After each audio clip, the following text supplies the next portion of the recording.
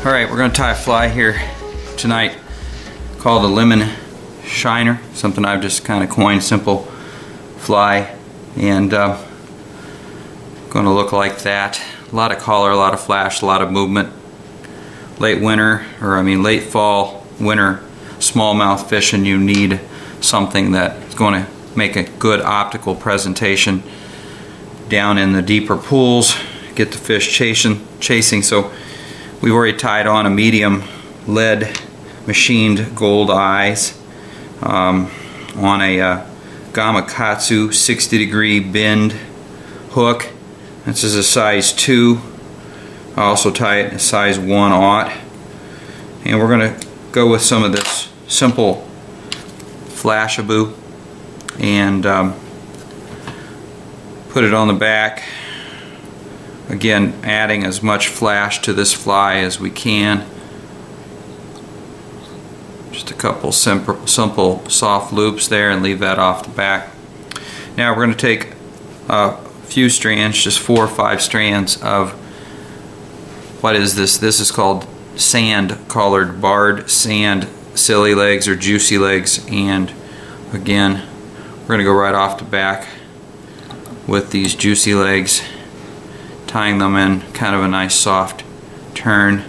I'm using a yellow big fly thread and now we're going to add some bucktail just simple yellow bucktail and we're going to use about probably about a half a pencil um, relatively long fibers on here and we're going to tie this off the back again so that it completely surrounds the fly, the hook shaft of the fly and we're going to just now press down and keep working that end until you can see it kind of goes all the way around. We want it even around on the bottom. Just keep pressing, working. Now we're going to make soft loops forward towards the machined eye.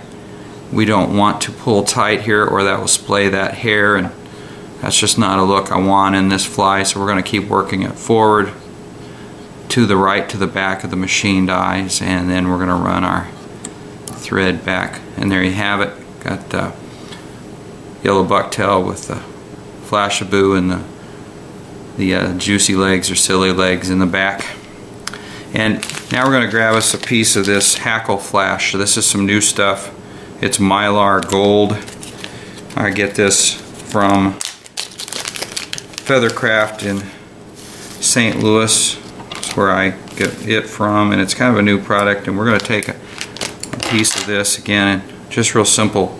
Uh, this is really a simple fly. We're going to tie it in in the back, work our thread back up to behind the machined eyes and now we're going to palmer this fly all the way forward and try to get these fibers all going backwards so that it puts a lot of movement into this fly. And we're just going to keep working them palmering forward pulling them through working this back towards the front. Get to the front take off the hackle pliers work it around make one simple loop here. Now we're going to pull everything back and tighten down with this good thread and come back a little ways and stop. Now this fly is going to swim like this on its back so to speak because of the lead eyes which means the hook is up and that's excellent because as we drag this over rocks um, it, it, obviously won't get us snagged as much. The other thing is it sets if you if it does set which a lot of times it's how I fish it as the fish comes up from the back he'll get the hook. And uh, that's just a great pattern. But what we're going to do is we're going to take just a little piece of egg foo yarn and we're going to tie it in real soft right here on the top with a few wraps and I like red Just something about red. I know a lot of guys do, but I really do. And uh, again, easily seen, and we're going to trim it right back there like that. And then lastly, we're going to come in with another set of four or five of the barred sand colored juicy legs and we're going to tie those in right behind the front or back right behind the machined eyes and we're going to work our back and kind of give it a good look right there.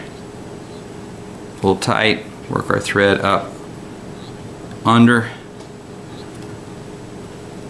A few wraps across the front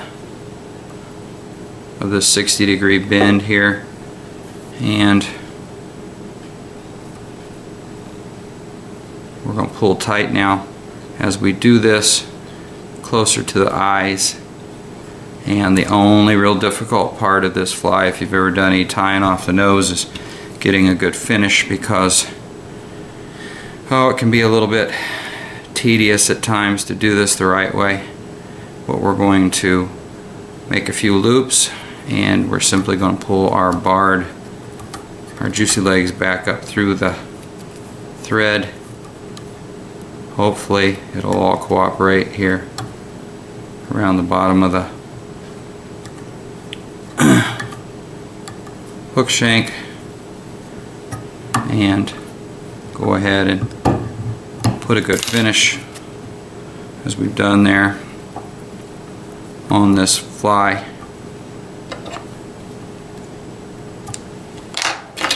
Now we're going to run, oh, I love head cement, especially with these kinds of flies. Put a little head cement top, bottom, all around. Obviously give this a day or so to set up. But that is a pretty decent fly that I think you'll find will will do the job on late fall, winter smallmouth. Again, it's going to swim on its back, a lot of movement. Could be a crayfish, could be a dying shad, a creek chub, uh, just about anything, but you can swim it through the pools, dead drift it through the pools, hop it along the bottom. But uh, yellow shiner, I think you'll like that. Now, if your water is dirty, go with the yellow. If water tends to be clear, then I go with some of these root beer colored flies, look about the same, or one of the copper colored flies. Again, clear water, kind of fish one of these, but either way, I think you'll do well and you'll like this fly. Easy to, easy to tie, a lot of uses, and um, works on browns and some largemouth bass caught on this as well. So anyway, go give it a shot. Enjoy the winter, keep fishing, and I hope you catch a whole bunch. Bye.